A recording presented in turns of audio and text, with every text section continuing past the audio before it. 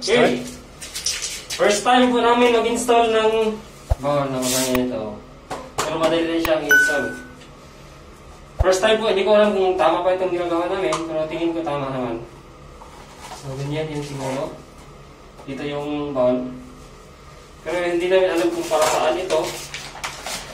Para siyang malagkit siya na sticky. Tingin ko gasket ito dito. Ito yan siya ilagay. Yan. Hindi po natin pwedeng buksan ito kasi mabaho.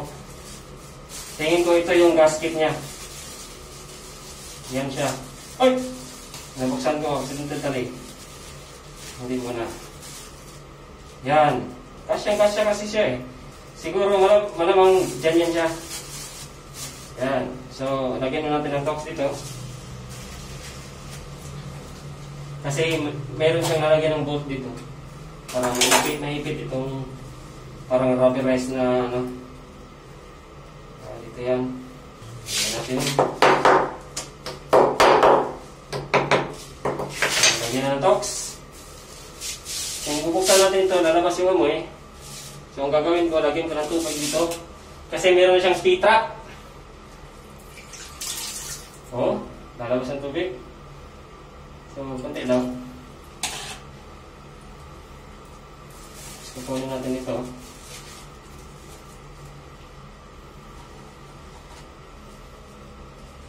Lagyan natin siya. Hindi ko alam kung pumasok na rin. Hindi hindi siya pumasok. Kuhan ko ba? Hindi nga.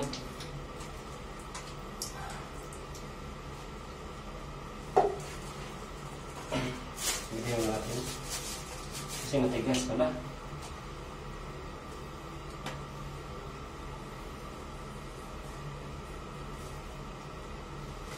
Tingin ko dito yan siya.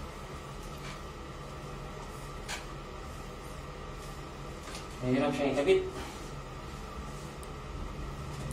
Tingin ko hindi siya effective na ilagay ito dito. Kasi matigas. Akala ko ma, ma, ma- maano lang ito. Hindi pala. So, pwede naman din. Pero parang hangin siya, hangin. Kung pipilitin natin, maging hangin lang siya. Ganyan.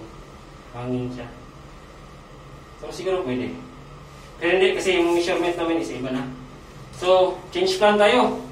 Change plan. Yung bagong gawin is gamit tayo ng silicone. Dito natin ilalagay. Sa gilid.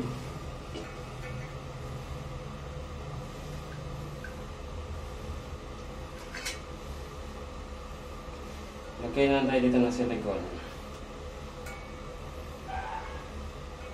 Tamihan natin para hindi magsingaw. Yan, pwede na. Tapos, ilagay natin dito sa gitna.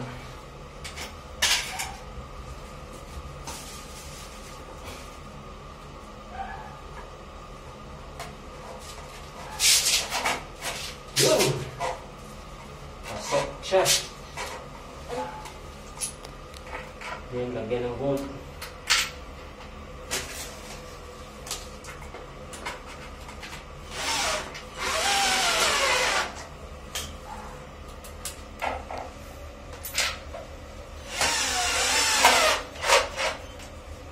Hindi ko lang alam kung pumasok siya o.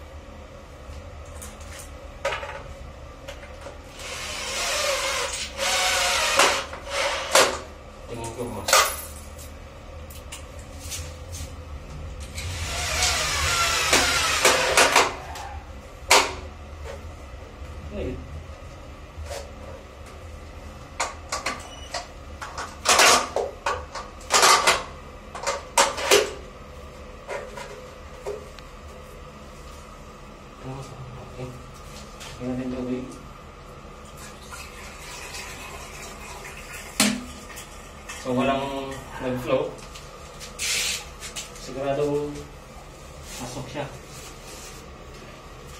So, lagyan natin ulit ng tubig.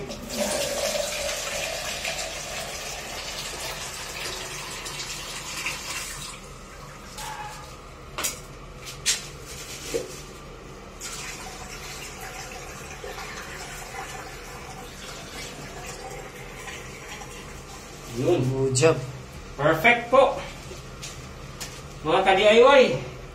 Pasok siya kasi ito meron akong nilagay na guhit para meron siyang guide. So, ayan. Next, lalagay natin yung bowl temporary at saka ibalik naman din. Okay, balik kami agad. Lagay ng silicone.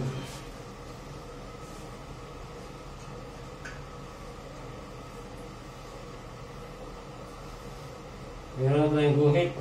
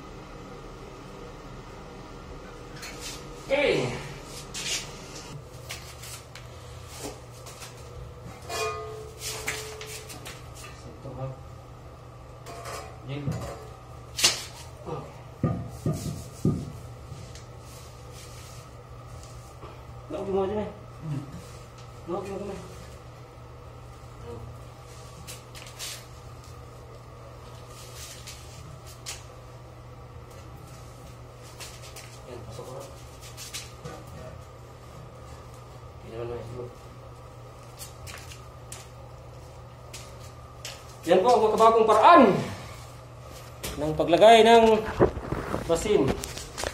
Hindi na po semento ang ginagamit. Hindi silan po. Yan, stop muna. Ay, lagyan ng tubig para walang mabaho. Game, lagyan ng tubig para walang mabaho. Hindi pa. Tingnan natin kung maglilig ba siya o hindi.